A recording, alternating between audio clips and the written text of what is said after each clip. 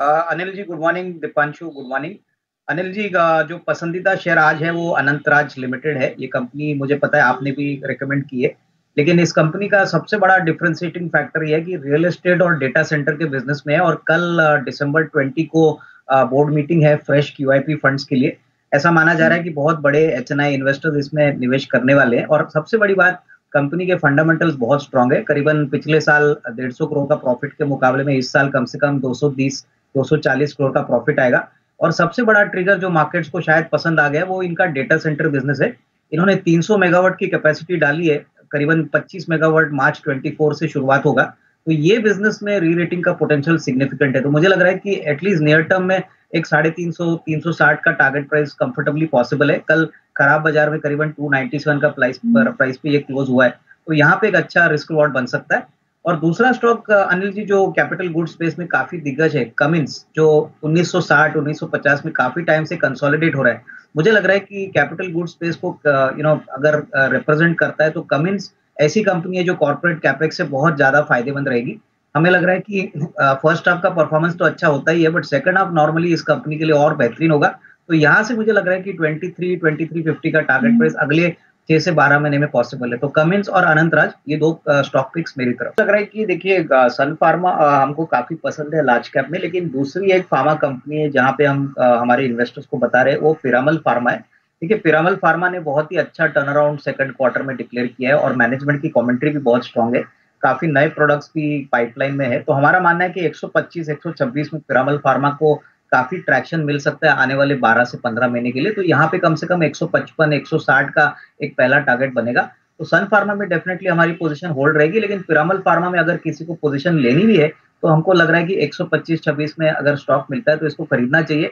अगले साल डेढ़ साल के लिए हमको लग रहा है कि आउटलुक काफ़ी पॉजिटिव मेरे ख्याल से देखिए क्यूएसआर मार्केट में पिछले एक दो क्वार्टर से ज़रूर थोड़ा सा स्लो डाउन देखने को मिला था।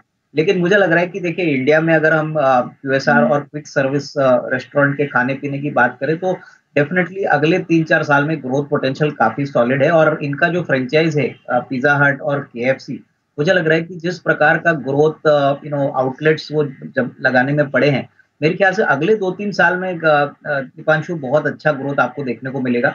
मेरे ख्याल से देखिए क्लियरली जैसे जैसे आउटलेट्स बढ़ेंगे स्केल बढ़ेगी तो ऑब्वियसली इनका जो इकोनॉमी ऑफ़ स्केल है वो यू नो ऑपरेशन में आएगा। प्लस कोविड के बाद अभी डायनाउट्स भी काफ़ी अच्छी तरह से बढ़े कोविड में इनके लिए काफ़ी प्रॉब्लम थी क्योंकि ज़्यादातर ऑनलाइन बिज़नेस से ही इनको बिज़नेस आता था। तो मेरे ख्याल से लंबी अवधि के लिए किसी को अगर साल, डेढ़ साल की नजरे से लेना है तो डेफिनेटली अच्छा अट्रैक्टिव प्राइस है। बट शॉर्ट टर्म में नहीं बट लॉन्गर टर्म में ज़रूर रिस्क रिवॉर्ड अच्छा बन सकता है। मैं बिल्कुल दीपांशु पीएनसी इंफ्रा में पहले भी ऑर्डर बुक काफ़ी अच्छी थी एग्जीक्यूशन भी काफ़ी इनका स्ट्रॉन्ग था।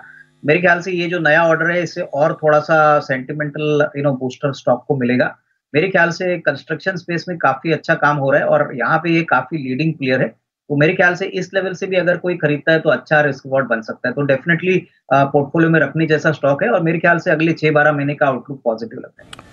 पंजू मुझे लग रहा है कि देखिए थोड़ा सा यू नो ट्रेंड को बिल्ड करने दीजिए बट डेफिनेटली सेंटिमेंट वाइज आज आपको सारे डायग्नोस्टिक कंपनीज़ में एक्शन देखने को मिलेगा जैसा मेट्रोपोलिस है थायरोकेयर है। मेरे ख्याल से यू नो शॉर्ट टर्म में तो ज़रूर तेज़ी आ सकती है लेकिन अगर ये मामला थोड़ा सा और सीरियस होता है और और थोड़े केसेस यू नो आने वाले दिनों और हफ़्ते में आते हैं तो मेरे ख्याल से ट्रैक्शन ऐसी कंपनीज़ में ज़्यादा देखने को मिलेगा। मेरे ख्याल से ये तो शुरुआत है। कहना हम्म। मुश्किल है कि ये you know immediately cover up होंगे या नहीं बट डेफिनेटली थायरोकेयर और मेट्रोपोलिस ये दो कंपनीज़ में अगर किसी को शॉर्ट टर्म व्यू लेना है तो डेफिनेटली आपको एक अच्छा मोमेंटम मिल सकता है।